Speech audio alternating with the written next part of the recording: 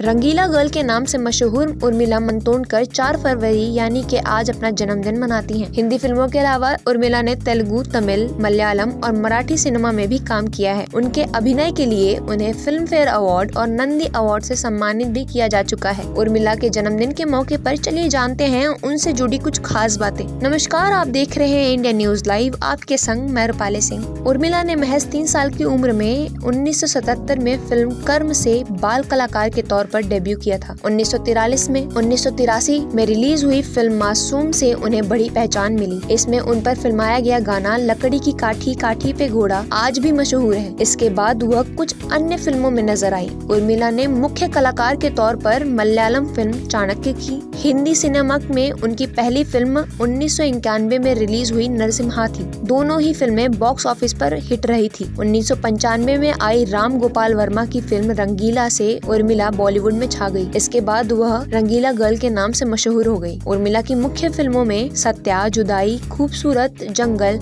मस्त, कौन, भूत प्यार तूने क्या किया?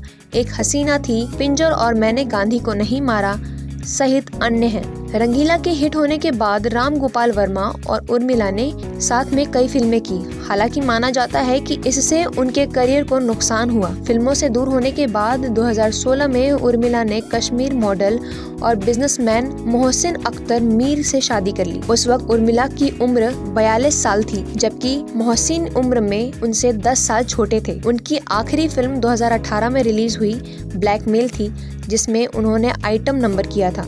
उर्मिला मंतोनकर ने उन 2019 के लोकसभा चुनाव में राजनीति में कदम रखा। उन्होंने उस वक्त कांग्रेस पार्टी से चुनाव लड़ा, लेकिन वो हार गई। उसके बाद उन्होंने पार्टी से इस्तीफा दे दिया। बीते साल दिसंबर में उर्मिला ने शिवसेना का दामन थामा। धन्यवाद।